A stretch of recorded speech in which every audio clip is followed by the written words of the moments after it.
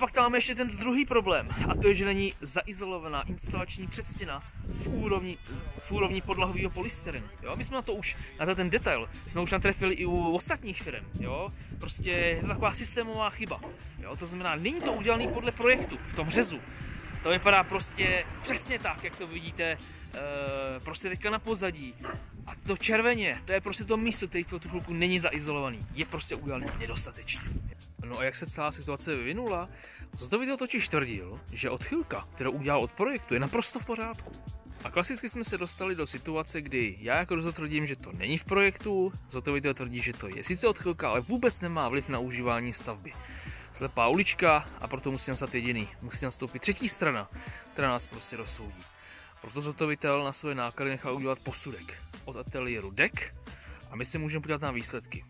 Na levém snímku vidíte projektovou variantu, to znamená variantu, která eh, je v projektu, instalační předstěna je v úrovni podlahového polystyrenu zaizolovaná a druhá varianta je ta, která je v realizaci. To znamená, v instalační předstěně chybí vlastně podlahový polystyren, vybíhá tam prostě tepelný most. A pojďme se podívat na další obrázky. Je to hlavně izoterma, jak probíhají teploty, kde vidíte, že ta projektová varianta je samozřejmě lepší, jo, není tam prostě tepelný most. A když se podíváme dále, tak v oblasti kondenzace vodních par už to tak jednoznačně není. Dokonce ta varianta s tou absencí izolace vychází lépe. Takže výsledkem posudku je, že obě dvě varianty jsou v pořádku, nicméně k realizaci je doporučená varianta B, to znamená varianta, která je nyní na domě. To znamená varianta, kde opravdu chybí kus podlahového polystyrenu u paty domu jo, kde dochází prostě k menšímu riziku hromadění kondenzátů v místě dřevěného prahu vlastně v úrovni e, paty stěny.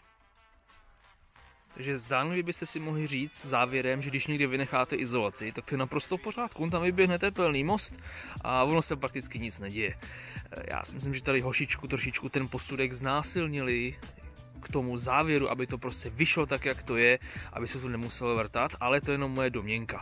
Já jako dozor tu chvilku jsem spokojen. Jo, je tady prostě posudek, který prostě hlásá, že takhle to je v pořádku a já už mám energii do toho dál šťourat. Jo, čili jdeme dál. Máme tady další dozor, další kontrolní den, tak se na to podíváme, měli bychom mít zabetonováno, zaklopíno, jsme dva měsíce po termínu. Jo, když se na to podíváme, tak na fasádu se logicky ještě nešáhlo, protože to počasí zrovna teďka nepřeje. Jo, čili zvenku bez fasády. Dobrý hospodáře vždycky poznáte i podle nepořádku kolem baráku. Jo. Materiál, který se dá použít, nemůže být přes zimu takhle jenom hozený, hozený na zemi. Jo. Prostě to už je na vyhození tohle. No, maximálně na zahradní domek. Jo, tady udělám dvoustupňová deska, to znamená uh, hydroizolace je schovaná mezi dvouma, dvouma deskama. Jo? Má to jednu obrovskou nevýhodu, když vám teče po stěně přes zimu prostě voda, tak takhle teče, teče, nikdy nesteče dolů, jak vidíte, teče prostě do desky, jo? pod hydroizolaci. To je úplně na levačku. Jo, tato stavba je z loňského léta, pod zimu, já myslím, že to byl srpen, pokud se nepletu, a teďka máme březen, čili vlastně přečkat celou zimu, jen tak v OSB, tak se můžeme podívat, jo, jak ta zima na to prostě působila, jo, místama nabobtnává uh, prostě ve spáře, jo, ale to je spíš tím, že to kotvení je tady, není tady, jo.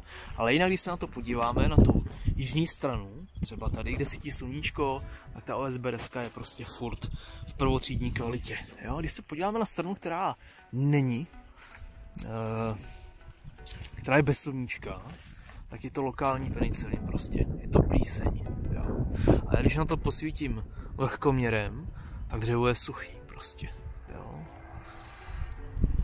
To dřevo je suchý vlastně i tady, jo, prostě po ty zimě to má jediný nebelehý vliv a to je prostě plíseň na severní stěně. Nahoře samozřejmě ne, jenom dole. Mm-hmm. Jsme v garáži, vyskoč, vyskočí schod.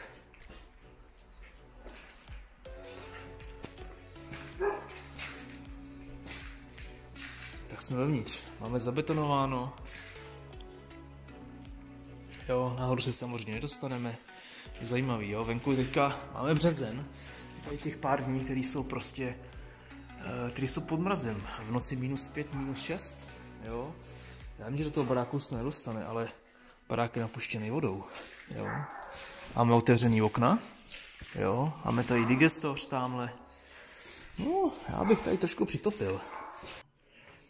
Tak, uděláme na hydroizolaci. Přátelé, tohle to je tak prostě umělecký dílo, já si nemůžu pomoct, to je nádhera. Jo, tady když něco vyteče, nemá šanci kamkoliv. Hmm, pěkný.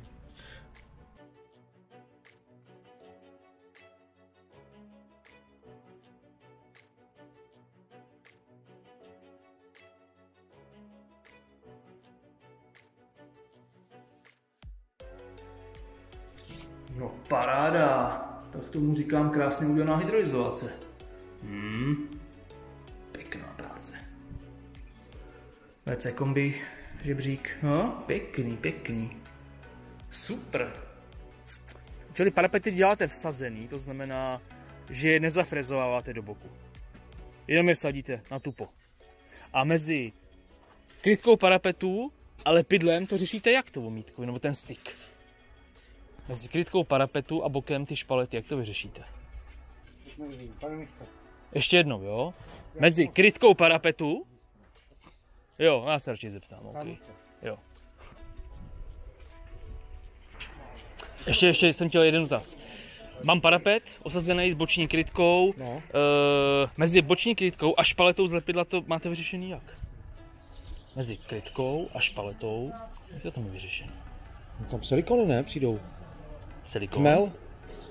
No a na silikon tu omítku přece nedáte, ten silikon tam tím pádem bude vždycky vidět.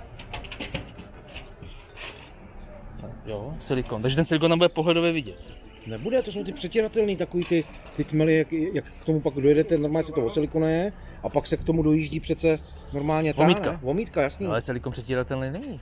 Je. Není. Tmel? No, no, ne jako silikon, ale tmel. No jaký? Já teď přesně nevím, jak on se jmenuje, ale to jsou ty, to jsou ty tmely, které se normálně jakoby to, že jo. OK, dobrý, tak dobrý. Druhý dotaz. Hele, máte tady udělané zpevnění pro ty elektrické potvory. Majitel ty je pintlich na elektriku. Jo. No. Jak to tam budete zařezávat, nebo jak to tam budete dělat? To tady vám chybějí, tady vám chybějí ty čtvercové potvory na to, že jo? To samé i tam na tu zásuvku, že jo? Tohle to byste správně měli uh, zaříznout, zaříznout s fasádou a přijde na to ta čtvercová potvora, která tady v tom Tady to kluku není. Ne, to je jenom, to by se tam měl nechat a zaříznout taky s fasádou, že jo? Ale tam chybí čtvercový. Tak to nemůže zůstat. Víte o tom? Víte, co to je? To jsou kamery, ne? Nebo co to je? Ne, to je, spevně, Čidlo. to je spevnění, spevnění na světlo, nebo na vypínač. Jo. No, Ale chybí vám tady kus, jako chybí vám tady takový čtverec, který musí být zároveň zafrezovanou, za, za, zafrezovaný s fasádou, s izolantem. Víte zhruba? To se pak řeže, jo? Nebo co? No. Další dozor. Téma fasáda. Jo, když se na to podíváme, tak hoši už začali dělat tohleto bez mýho vědomí. Někdy minulý týden, ale nedařilo se jim. Takže to zanechali a dneska, dneska začali pokračovat. Takže jdeme si to projít vodováhou. Kdo to bude kdy zařezávat? A tohle je na světlo, ne na zásuvku, to znamená, tady by měl být takový ten čtvereček. Jinak rovinatost, když si zkontroluji, tak pěkná. Jo, toho ochu nemůžu nic. No, možná bych trošku křivdil. Ale dobrý. Jo, tady spát. To bude brutál. Se můžeme podívat. Neskutečný. Jo, bublina úplně někde.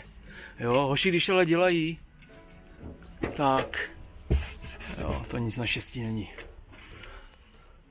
Jo, zalepený, já myslím, že pěkný. Ale za mě pěkná práce, jo, je to rovinatý, nikdy žádný velký rýhy, eh, v pohodě. Na to, že jsme x měsíců po termínu, tak hurá, to hoši dodělají. Ale nad určitýma věcma se tady budete pozastavovat. Schválně se podíváme. Jo, a to je interiér. Elektrika není vůbec kompletovaná. Vodoinstalace ano. Čekáme na schody. Podlohové krytiny. WC kombi. střížka na komín, tak tohle zabere. Jo, tady ještě něco chybí. No, no, nějaká práce to bude. Je to dobrý. Čili za mě penetrace před fasádu a veškerý povrch je OK. Nicméně je to ten čas, tady jsme prostě x měsíců po termínu. Co je horší? Je ta profesionalita. Hoši to sice dělají dobře, ale viděli jste, jak tam jsou ty výčnělky od koposu, na to zpevnění fasády pro světlo, pro zásuvky, tak pro to světlo tam chybí takový ten rámeček a hlavně, že ty prvky měly být zaříznutý zároveň. A to vůbec není. Kdo to bude jak zařezávat, když bude hotová fasáda? Mi vůbec není jasný. Co je nejhorší, to stav vedoucímu, to taky jasný není. Jo, čili je to hasičí fakci.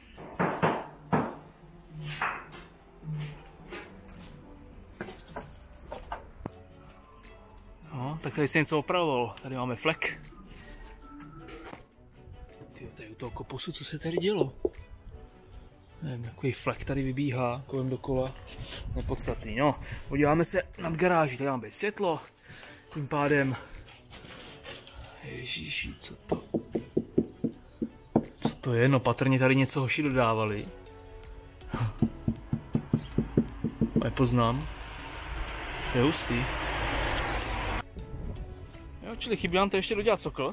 Ta spodní partie, to je absolutně obnažená.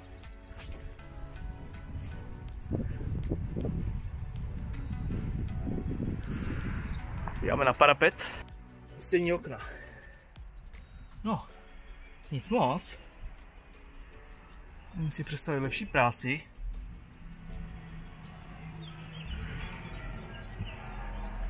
Trošku slabota. Jo, nehledě, že já tady prostě vidím v rohu OSBčko. Opět je klasický slabý místo tohle. Jo, hoši si stáli folii na části parapetu, ale nastáhli na části už ne. Takže ta folie se tady takhle vyprofilovala. No to jsem zvědavý, jak to pojedou teda. Jo, máme tady lemování ke zdi. Taky slabotka. Jo, když se podíváte dál, jak to tam vede, jak to je hrbovatý tam, tak to je slabota teda. Jo, to ještě nás zhodnotit, ty tady stále folie. Nicméně, když se podívám k ty apuliště, no, mohlo by to být lepší.